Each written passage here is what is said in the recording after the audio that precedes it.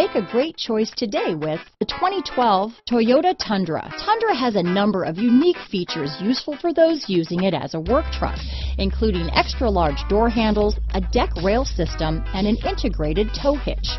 Included as standard are vehicle stability control, traction control, electronic brake force distribution, anti-lock brakes, and tailgate assist.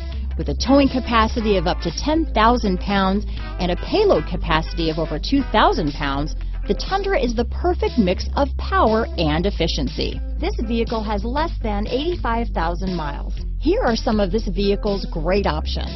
Traction control, dual airbags, power steering, four-wheel disc brakes, AM FM stereo with CD player, center armrest, power windows, CD player, rear window defroster, electronic stability control, brake assist, panic alarm, overhead console, tachometer, remote keyless entry, driver vanity mirror, front reading lamps, tilt steering wheel, passenger vanity mirror. This beauty is sure to make you the talk of the neighborhood, so call or drop in for a test drive today.